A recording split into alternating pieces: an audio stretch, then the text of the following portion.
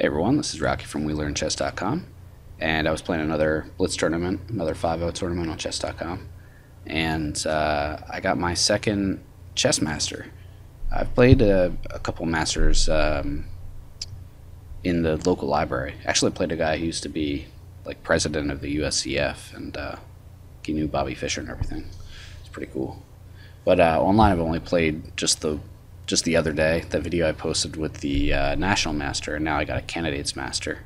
Pretty sure Candidates Masters are. Uh, I don't know if that's just a England, a British thing, but yeah. Anyway, my opponent, well, he was only rated like 1800, um, and I've actually been rated over that before too. So I'm not quite really sure how the strength of the CMs are. I know Kingscrusher is a CM, and they're obviously stronger than me, but uh, yeah. Anyway, my rating right now is terrible. I just dropped like 100 points because I was playing bunch of 5 and apparently I'm no good at it.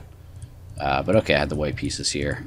And we get this uh, French defense where black goes for the isolated uh, queen's pawn position, which um, there's a couple really good videos on chess.com if you're a premium member, uh, like a diamond member, um, about how to play with the IQP and how to play against it. If you're playing against it, you usually want to try to control the square uh, right in front of the pawn. So that's why I played uh, c3 here, and I've got the two knights looking at the square. Uh, so I've got really nice control over it. That kind of just that makes sure that the person with the isolated queen's pawn can't push it, because a lot of times pushing it can either create problems for you. Uh, it can open up diagonals at opportune times, or it can just liquidate the pawn in, in a, at a moment when it's convenient for him to do so where you end up having to trade and then you end up taking on an isolated pawn yourself. Uh, sometimes even the person with the IQP can just sack it uh, just to open up lines. But I've got pretty good control here, so my objective is to try to simplify a little bit the position, make sure I don't get under a huge attack. Usually the person with the IQP is attacking because there's so many open uh, you know, diagonals for his pieces. Uh, and his knights come out to good squares a lot of times he'll use the isolated pawn as an outpost, so he'll put a knight into an annoying spot where it's hard to take it. Um, and if you do take it, then all of a sudden the pawn's not isolated anymore. So, um, yeah, so try to simplify a little bit and get to a position where I can safely win the pawn.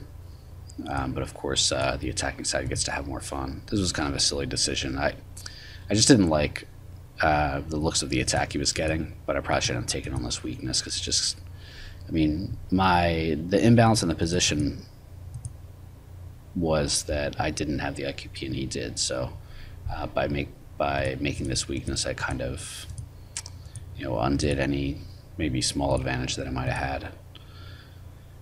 Um, so I just wanted to show a couple spots here. I did lose a pawn here, but I I would say I more or less traded it. I mean, I have uh, really nice activity now.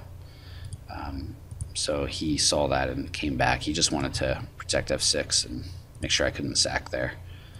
Um, but actually, he misses it right. He wanted to trade queens there. I avoided the queen trade, and now this is actually a blunder because uh, it actually drops a piece. If you want to uh, pause your video and take a look, you can see why an entire piece is lost. Okay, so I had looked at this move about four or five moves ago, and I I just saw that the queen was holding the knight, and then I forgot about it. But that's why you always have to reevaluate the position when the pieces move around, because sometimes a tactic wasn't available before all of a sudden becomes available. So now this uh, rook takes f6 has been really strong. He obviously can't take it because it's just mate in one. And if he can't do that, I'm also threatening f7, so he just has to go back. We can take this and uh, now I'm threatening here, and I'm threatening mate here, so the only move is rook g8, which is terrible. Uh, and then I've got this really nice move with the knight, and I come in and I'm threatening all kinds of stuff like... Uh, not really sure what he should do. I mean, if he wants to try to get back...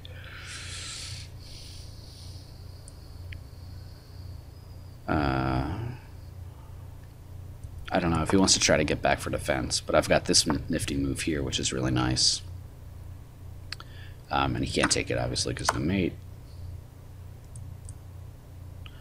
And if he can't do that, then I'm not really sure what he should do. I mean,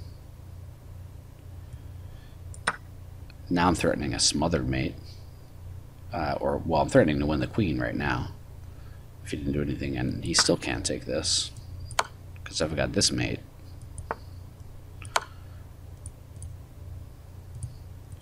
So probably the only move is to play the rook out here. That way uh, I'm not actually threatening the smothered mate. Um,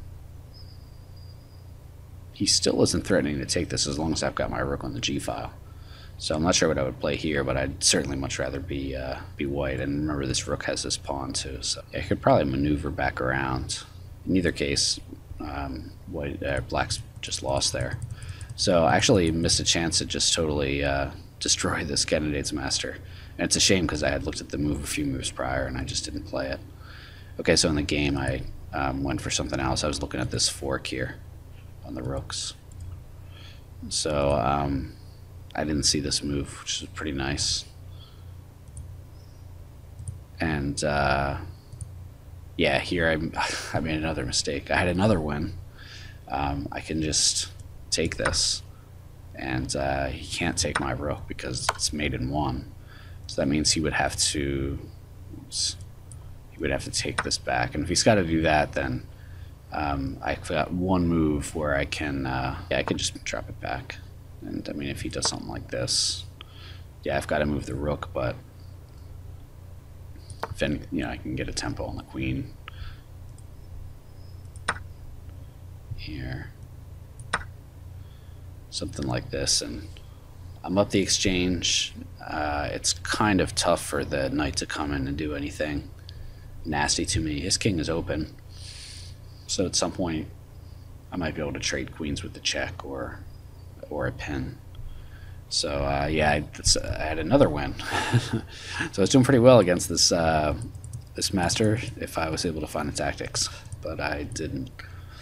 Um, part of it's, I mean, the time control for me is a little fast, but uh, I think a lot of times just moving too fast and being blind to looking at all parts of the board.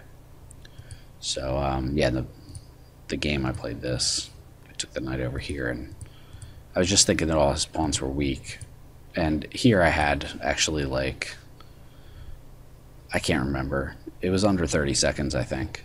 So I took this but that obviously is a mistake because my king's fairly safe and his king is not at all. So if I had had more time, I probably would have played something like this. And I looked at this, I just, uh, I just couldn't do it well with the time. So I just tried to liquidate as many pawns as I could, and then I should be able to hold this. Black is obviously better here. I blundered this pawn.